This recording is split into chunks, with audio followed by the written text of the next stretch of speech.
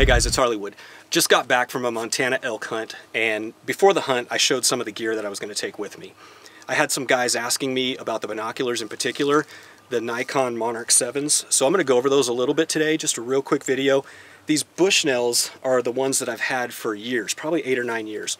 And a couple things I don't like about them. One is these old style eye relief caps here.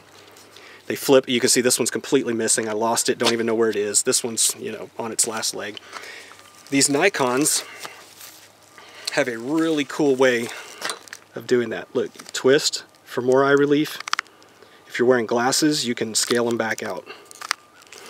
They also have, so you would get your focus with this ring here with your left eye and then on your right eye, let me turn them around, so on your right eye, you would actually use this to fine tune your right eye.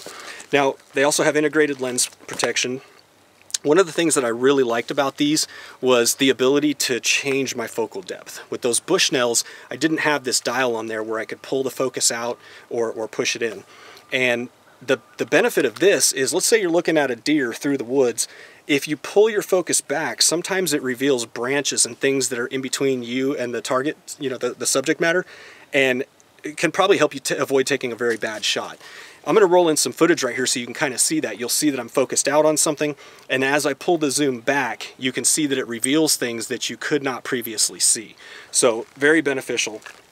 Love these rings. They're, uh, they're adjustable in different increments, so very innovative there. These are completely waterproof. Depending on where you get them, they're probably going to be in the $600, $700 range, somewhere around there.